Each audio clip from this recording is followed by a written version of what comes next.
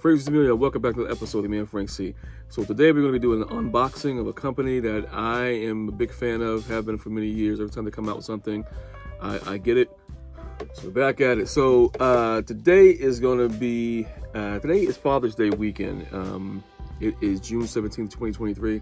And as the recording of this video, um, there has not been any other review or any other information on this fragrance. So I'm going to claim this as being the first um, unboxing or first uh, you know quick review of this fragrance. I mean, I, I searched YouTube, I couldn't find find anything about this fragrance, so I'm to claim this as being the, the, first review on YouTube. Uh, I know I came close before a few few years back with the um, the one gold, the, the Dolce Gabbana gold.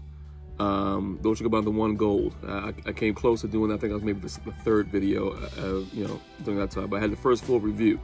So let's let's just jump into it. YouTube first. This is going to be from the House of 1821 Man-Made. This is uh, their new fragrance called Mahogany Woods. Now, I have 1821 Man-Made Tobacco, a real, you can say, darling in uh, Fragcom. That one dropped in like 2015. I got it back in like the 2018 time frame. I love that scent a lot. 12-hour uh, banger, you know, excellent, excellent scent. A lot of compliments off that one. It's like tobacco, honey, honey type scent that port wine note, just great stuff. And then uh, they came out last year, 1821 Man Made with Noble Oud, which is a nice, really nice, clean, like oody oody scent. So I don't know, and now we have this one. So like they, it, it took it took 1821 Man Made like six six or seven years before they dropped um, no, uh, Noble Oud after they dropped 1821 Sweet Tobacco um, as far as it being a, uh, a, a, fragrance. Like they, they have like like bar soaps. I mean, you go to the website, they have all types of stuff, bar soaps, shampoos, all this type of stuff.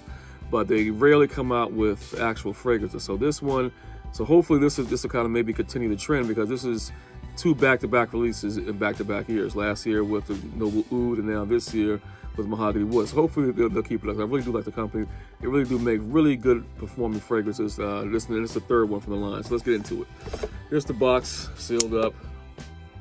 Got an unboxing knife. I'm gonna make this real quick, all right? My first time smelling it. I got it directly from the 1821 man-made site. I'll put the link in the, description. I could have actually made this video uh, about 10 days ago when I first got it, but I just haven't had time to get around to it. So this the box. The box is always like a prohibition type, you know, speak easy type design. Really nice box. I like the, you know, the motif on that. Look at the, the stamps and everything. Makes it look like it's a vintage. So let's give this cut right here and pop pop her open here. Pause, let's do this, boom, all right. All right, so there's a bottle. A nice blue bottle, same design as the other ones. All right, so I'm going to spray. Got a lot on. Testing a lot, you know, this came from mall. Uh, man. Shouts to my man Pichet over at uh, Macy's. Yeah. All right, let's um, I got a little bit, little space right here. Let's do that. All right. Hmm. Yep.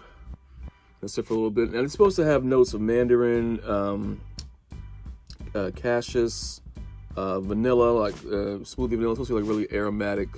I guess this is their blue scent, uh, uh absolute mahogany. Hmm, and it smells good. It smells good. It's blue, but it's different. It's not really your blue blues type scent.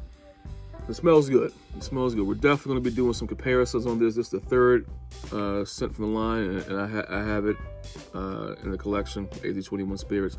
So, hmm, smells good. It smells good. It has like a, this has a kind of a, hmm, that kind of Dill, I don't know if this Dill. I don't think it's Dill Dill in this, but it kind of reminds me of Alien Man.